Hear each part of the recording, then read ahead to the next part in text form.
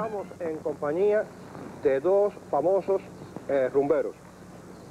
El compañero Esteban Lastrí y el compañero Florencio Calle. Sin embargo, para el pueblo cubano eh, es muy difícil identificarlos en qué expresión, en qué manifestación de, la rumba ellos se, se destacan.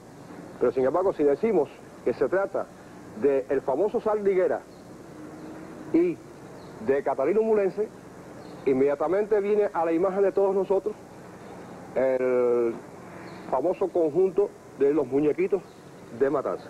Siempre yo he dicho, y lo sigo diciendo, que por lo menos el canto, cuando se va a cantar un guaguancó, la inspiración que se hace en el guaguancó se avecina mucho con el español.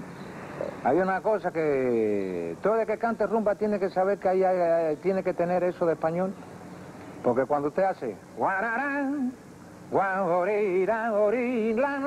esa cosa no es de cubano.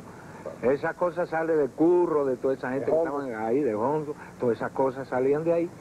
¿Me entiendes? Ahora, hay personas que dicen que no, pero yo, que más o menos, que soy hijo de español también, siempre yo oía esa cosa y esa cosa mi padre y mi abuelo, esa cosa, ellos siempre tenían ese aire y no sé si se me pegó a mí cuando chiquillo y lo sigo haciendo. Y todo el que canta siempre tiene un parecido, siempre tirando siempre al español. Esas cosas. El guaguancó se avecina mucho. Es igual que el niño. Te hablan del niño. El niño, ¿cómo se puede saber que un muchacho ya pueda servir para una cosa? Ya el niño de que tiene tres o cuatro años, ya uno tiene que fijarse en el niño. ¿Por qué? Porque ya trae su sabor le pusiste una música, más o menos tú te fijas la música que más le gusta a él. Entonces hay alguno que le pone esta música y no le gusta, y le pone aquella y tú lo ves que ya tú ves que el niño está inclinándose a eso, porque ya ese niño ya es chiquito, le va gustando eso. Hay muchachos que no. Por eso no podemos coger a todo y tenemos que irlo escogiendo uno a uno para ir encaminando todo eso. Bueno, Timero Mayor, Mulense, ¿qué tú nos puedes decir de esa variante del complejo de la rumba que se mantiene activa en toda Cuba y que ha dado personajes de leyenda como el caso de Malanga, es decir, de la Columbia. Ah, ¿Qué tú puedes decir de la Columbia? Oviedo. La Columbia se está en Matanza, precisamente, en la provincia. Esa parte de Sabanilla, esa parte de Cabildo, el Congo de allí. De la historia de... Cubila, el difunto Cubila. Allí... Daniel. Sí, Daniel también, precisamente, sí. Daniel, eso fue uno de los inventadores de la.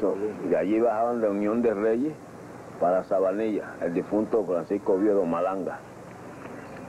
Esa gente. Después Celestino Domé, toda esa gente que esa pertenecía. Celestino Domé, Carburo, no recuerdo el nombre de él, decían Carburo, de. Sí, Ovellano también fue Plaza Fuerte. Sí, no, ya lo creo. Benito Roncona, sí, Andrea Barón. Este, Caramba, que anda ahora él por allá por Colón, cara. Víctor Lafete. Víctor Lafete. Bueno, un velo. Opo Montero. También. Opo Montero, ya ves. Y todo eso. Uh, ya lo creo. Pero la Columbia eh, Matanza es una, es una expresión de una peculiaridad muy, muy extraordinaria. Sí, sí. Efectivamente, la Columbia es una rumba de carácter rural y se localiza principalmente en la provincia de Matanza. En sus cantos no siempre emplean el idioma español. Se ejecuta por un solo bailarín. Es un virtuoso que acentúa sus pasillos y movimientos al ritmo del tambor quinto. Sus bailes recuerdan la fogosidad y destreza del guerrero. Su antecedente religioso seguramente era la expresión ritual frente a la presencia inminente del enemigo.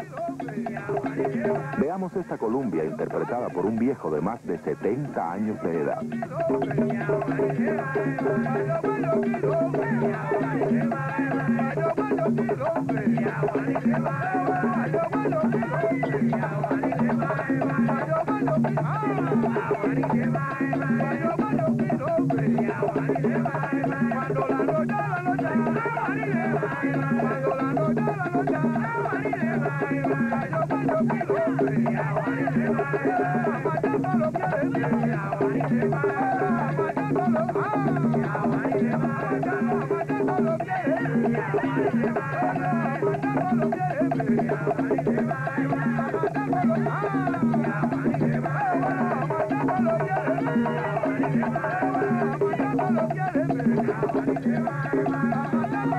Thank you.